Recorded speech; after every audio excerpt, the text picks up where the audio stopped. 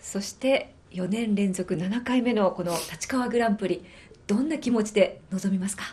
やっぱりまず自分の走りを見せて見せてそれからだなっていうふうに思います。優勝を目指しての意気込みをお願いします。とにかく優勝を目指して頑張ります。応援してください。初めての競輪グランプリお気持ちどうですか？楽しみな方が強いですね。では優勝を目指して意気込みをお願いします。はい、えー優勝目指して頑張りますこの1年振り返っていただけますか？そうですね。あの、まあ、日本選手権を優勝できたことは良かったんですけど、まあ、それ以外は結構不満のこう募った1年だったと思います、今回はどんな風に戦いたいとお考えですか？はい、あの稲垣へので稲垣の後ろで頑張りたいと思います。グランプリではどんな走りをしたいですか？あの新田君に任せてるんですけども2人で、えー、梨山チームの練習で培ったスピードあるレースをしたいと思ってます。では応援してくださる皆さんにメッセージをお願いしますはい、えー、精一杯、えー、全力で頑張ります。えー、新田君ともども応援よろしくお願いします。今回はどんな走りをしたいですか？京都の2人の後ろなんであのそこをしっかりあの追走して、まあ、自分のベースを尽くしたいです、ではグランプリに向けての意気込みをお願いいたしますえー悔いの残らないようにあの自分の持てる力を全て出してあの全力を尽くすんで応援のほどよろしくお願いします。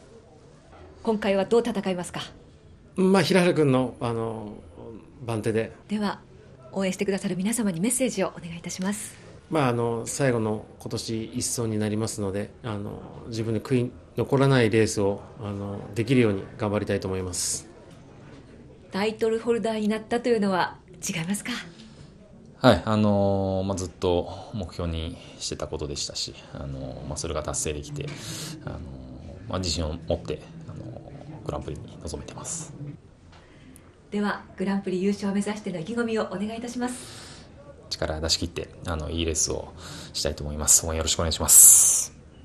今年1年を振り返っていただけますか？一番車っていう重さっていうのを感じてあとはファンの皆様期待っていうのを背負って走るっていうのはすごい重たいなっていうふうに感じたしそれがまたあの自分のこれからの競輪人生において成長できるえー面だったのかなというふうに感じますね。立川グランプリどう戦いますか？えーもう本当にね、えーレースにならないとわからないんですけど、えーまずは短期で、えーしっかり自分のレースを、えーしたいと思います。去年優勝した時も短期でしたねはい、えー人にね気使うのは大嫌いなので、えー気使わないレースをしっかりしたいと思います。